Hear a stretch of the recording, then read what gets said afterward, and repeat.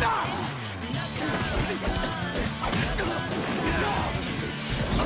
Last time I decided to miss the fatal spot. But just barely, right? Yeah, that's right. You got an eye for detail, don't you, Vincent?